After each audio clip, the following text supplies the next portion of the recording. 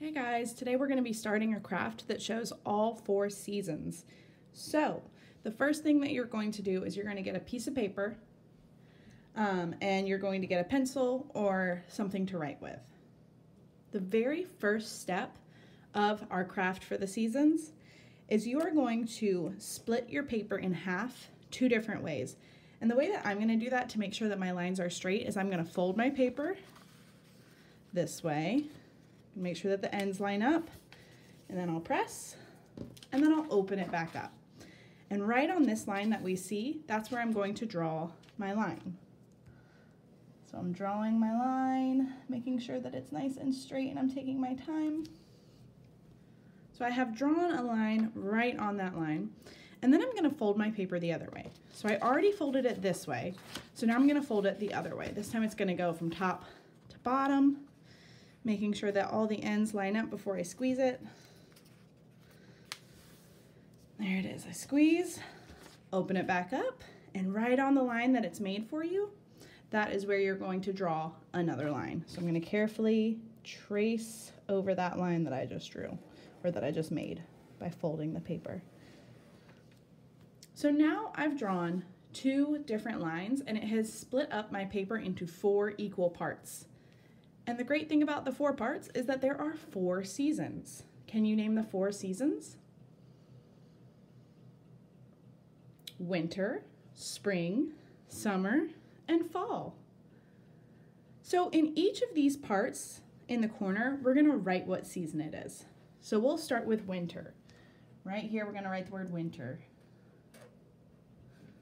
Winter. Make sure that you're writing is small so that you have lots and lots of room for your um, picture that we're going to make. Winter is spelled W-I-N-T-E-R.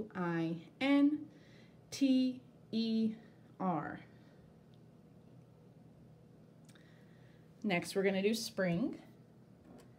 S P R I N G. There's the word spring.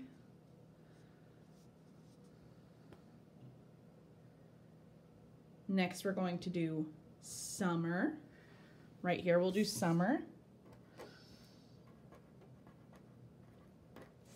And I'm making sure to put summer under spring because it's going to be kind of like a circle. Just like our seasons are continuing to change all year long, this is going to be kind of like the circle of how they change. It'll be winter, spring, summer, fall, back to winter, and then spring, summer, and fall.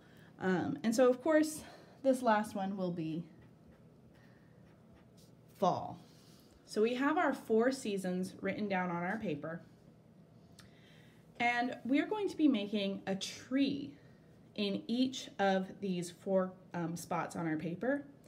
Since I'm using a small piece of paper, I can't um, draw anything too big because we still want to have room for the leaves and everything. But if you have a really big piece of paper, you could make a tree by tracing your hand. So this would be like the trunk of the tree and these would be the different branches. So that's a way that you could do it. Obviously my hand is way too big. So instead of doing that, I'm just going to carefully draw, there's the trunk of the tree, and then I'm gonna do a couple of branches.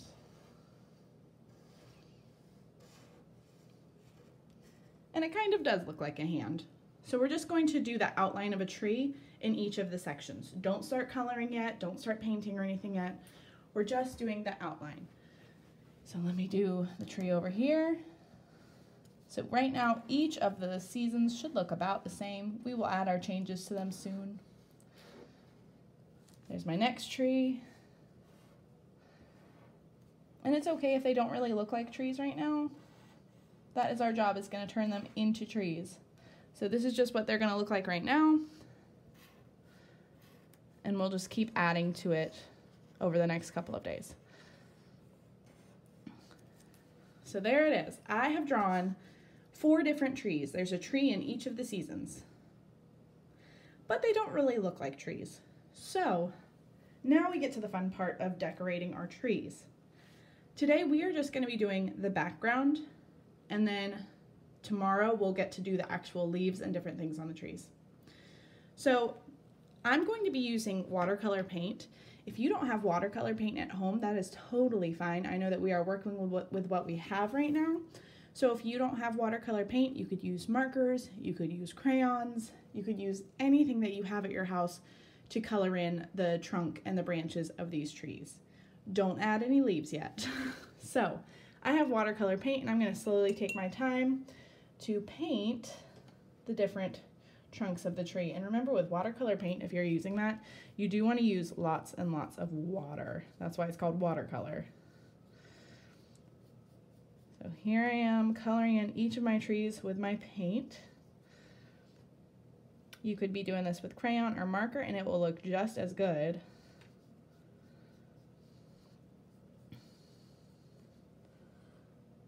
All right, finishing up tree number one. Moving on to my next tree. And since we are doing science right now, we do want them to be as accurate as possible. We're not going to draw any purple tree trunks or anything like that. We want them to really, really start to look like trees. So do your best to make sure that you're doing scientific drawings and paintings. No purple trees, please.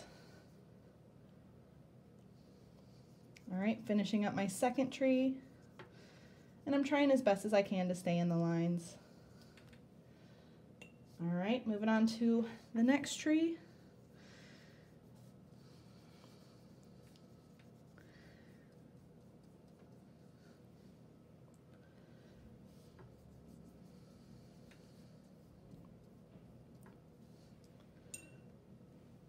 Okay, finishing this one up, taking my time, trying not to make a mess on the table. Okay, and I have one last tree that I need to paint. How are yours looking right now? Awesome. And like I said before, if you're using watercolor, make sure you're using lots of water because if you don't dip your paintbrush in the water a lot, then it's the paint is not going to show up. It's not going to look very good. All right, I finished my last tree, and I don't know about you, but since I used watercolor paint, my paper is very, very wet right now. So I can't really touch it yet. I can't add more detail to it yet. So this is all we're gonna do for this project today. We're just gonna do the tree trunks and the tree branches and split our paper into four parts. Tomorrow is when we'll be adding lots and lots of details to our trees. See you tomorrow.